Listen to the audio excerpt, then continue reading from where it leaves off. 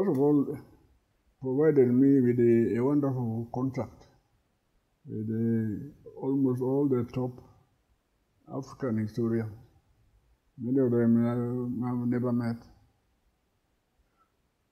Uh, also, non-Africans who are Africanists, uh, people like Professor uh, Hrbek from Czechoslovakia, whom I regarded as a walking encyclopedia on African history.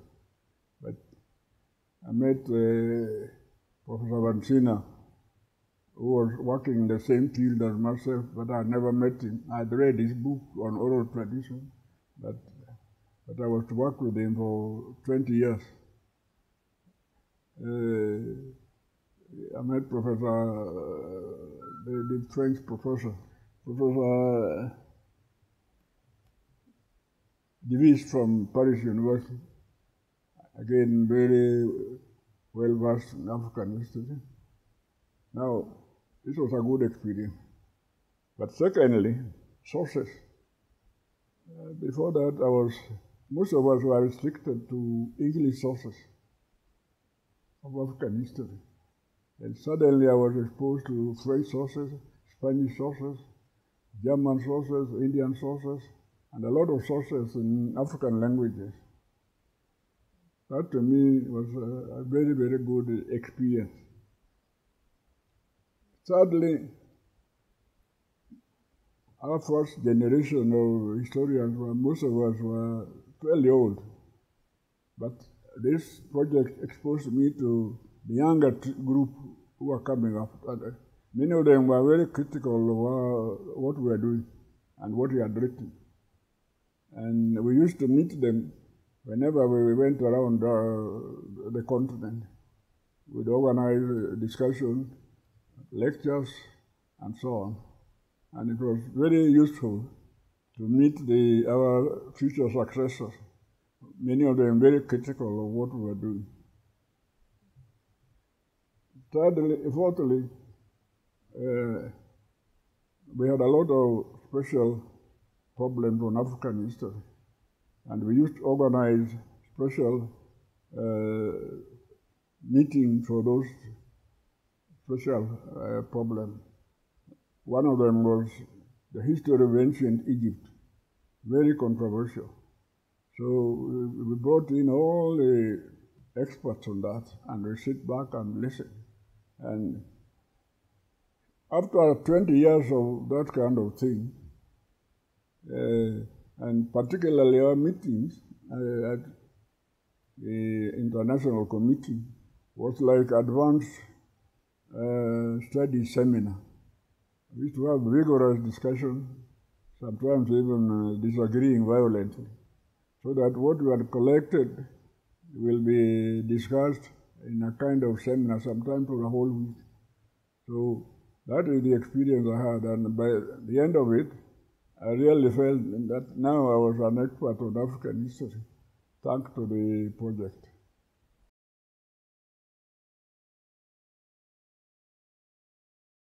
The project was important for me for several reasons.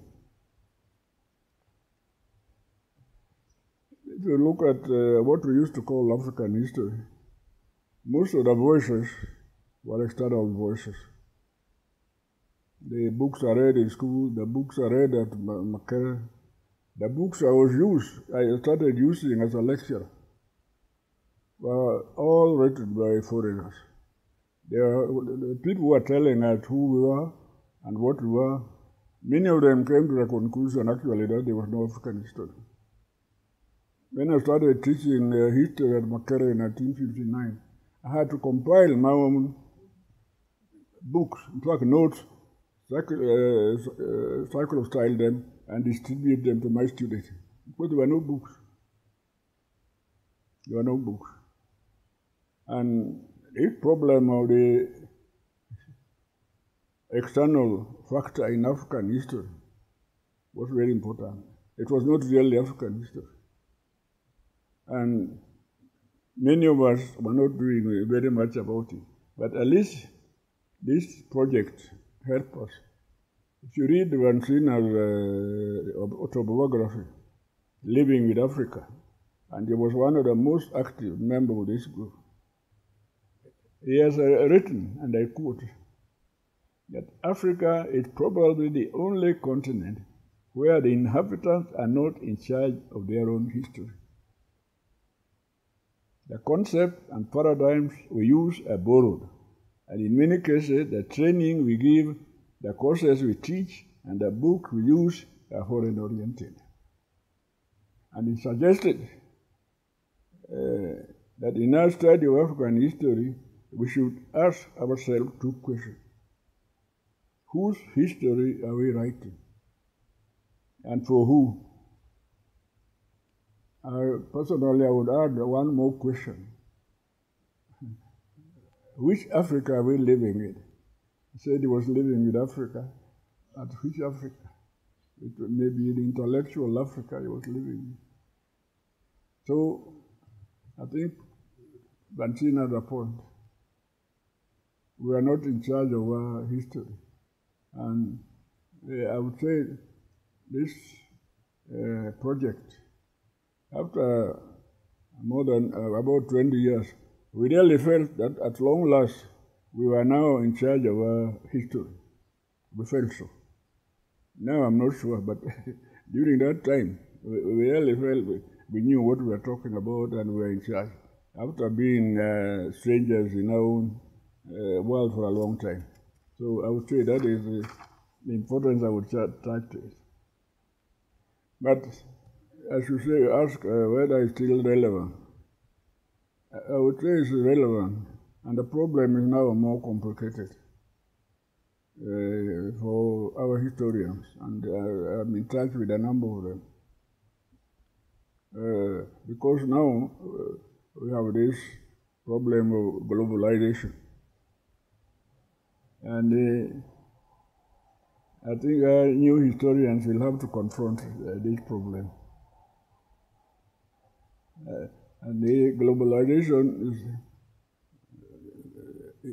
virtually excluding the African intellectuals from what I would call intellectual tribunals.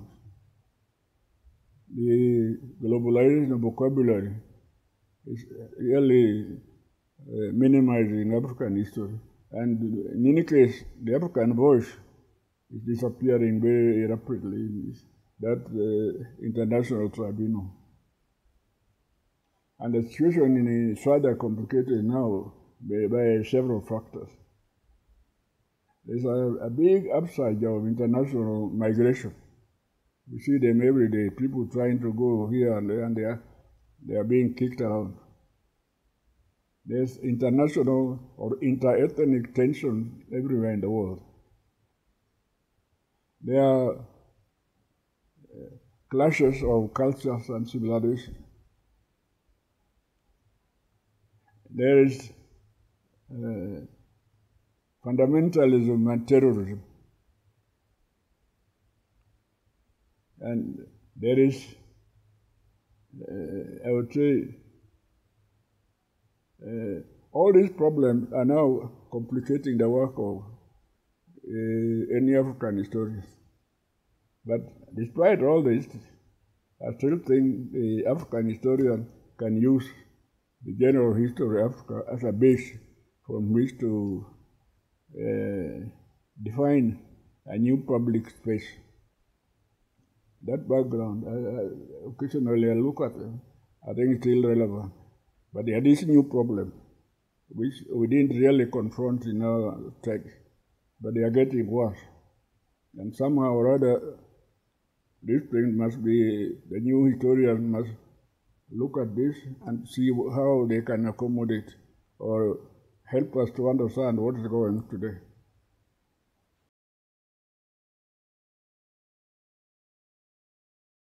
I, I, I think uh, some of the changes I would make in the is in the composition of the, uh, the writers or the directors.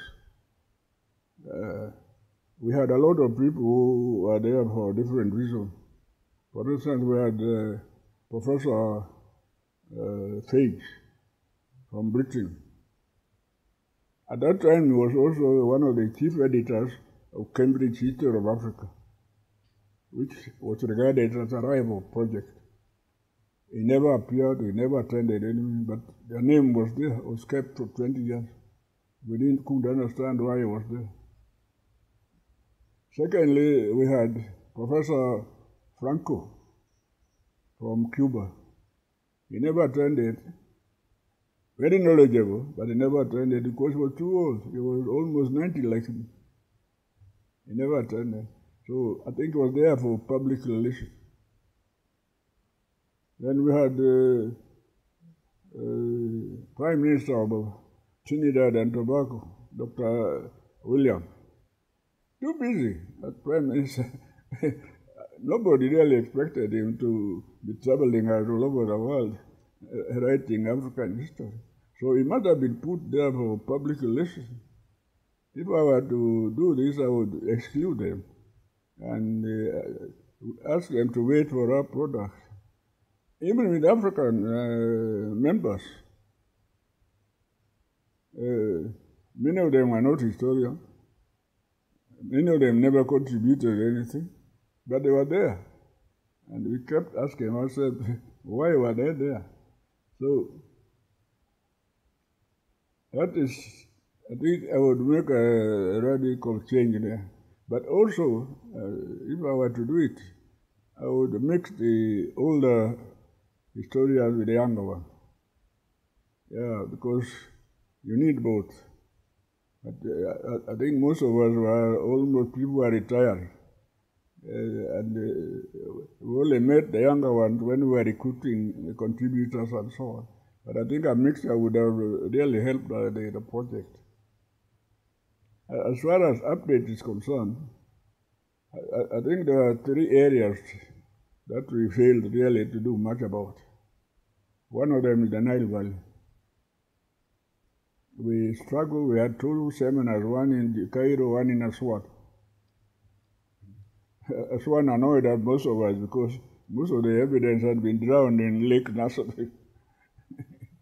despite attempt by UNESCO to rescue them.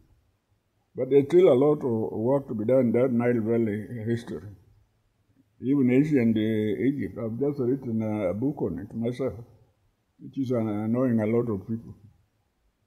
But even a, script like a Meroitic script has not been deciphered. I think we are waiting for another Frenchman to do it for us. So that's one whole area where uh, we need a lot of work. The whole Indian Ocean. We even pleaded with UNESCO after we've gone around the Indian Ocean that most of us really knew nothing. Concentration has been on the Atlantic, but Indian Ocean, and a lot of things were happening in the Indian Ocean side, up to China. But uh, we went to Madagascar, we went to Mauritius, all this. what we could find is ignorance all around.